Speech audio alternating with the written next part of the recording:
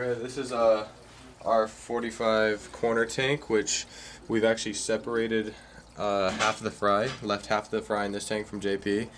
Um, these are probably the ones that we're not going to keep, except for this one. This one has nothing on it, on its body, which I actually like. Has not a flower line on it. It's pretty cool. Um, and let's go into the fish room.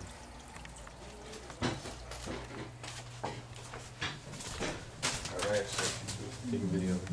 Alright, and this is the fish room, and, And this oh, is- I'm in basketball clothes because that's what we do. We play basketball. This is where um our uh oh by the way, this is the room where the magic happens. This is the room that when the magic happens. This is where our, our apistogrammas and blue rams are.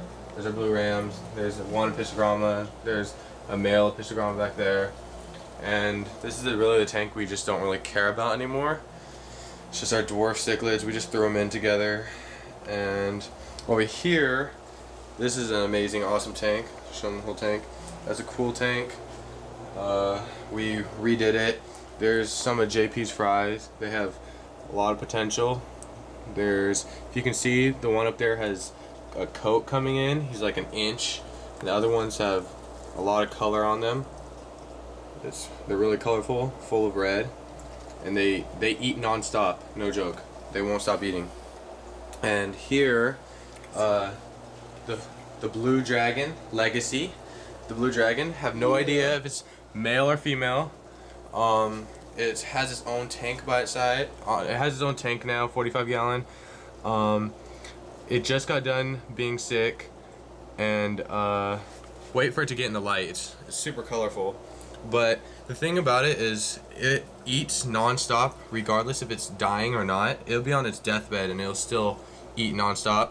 It has a little weird problem though. No matter what we do, how much we try, it has these weird scale problems where it just looks like scales are popping off of its body. It's really weird. But Right next um, to the fin. yeah, and we don't really.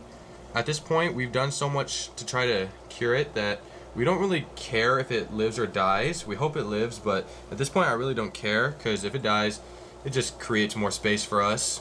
I mean, I like it. It's our first flower horn, but yeah, it's okay. And here's our blue ram tank. Planted blue ram tank. The babies, they grow super slow. It's crazy. Uh, we're trying to get rid of them soon once they get a little bit bigger. And uh crikey, look at this beauty down here. This is our this is our Midas cichlid, eh? And uh it's got quite a kok for a female. And that's my gay Steve Steve Irwin impersonation. I know it sucks, but uh, this is just a Midas, so it only has a 20 gallon to itself, nothing special. Um, but it has a huge kok, if you can see that. For like four inches, it's pretty big kok. And yeah, this is our only for sure female fish. I hope that our blue dragon up there is a female, but you guys keep telling me it's a male. And then finally, for Vans and Big Dog, here comes our masterpiece. This is um 75 gallon, has uh, undergravel filter, has the mechanical filter, and um and it has Iron Man in it. Iron Man just got put in there today. He's been battling ick for a week, and it's finally all done and good. He he's a happy camper in his new tank. I hope this uh, satisfies Big Dog and Vans. Hope they're I hope they're uh, happy. I took their advice, and I'm just gonna try to pump them up for a while before we try any breeding projects. He looks like he loves his new tank. He's pretty happy, and he's a beast. So we'll keep updating him and see what happens in the next couple of weeks and months. But he seems pretty hungry right now. We haven't fed him, but yeah, that's our fish tank room update. We've switched a couple things. We've got a couple fry in here.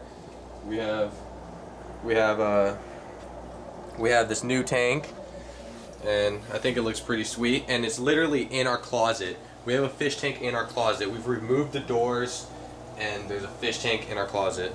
So that's our fish room. Thanks.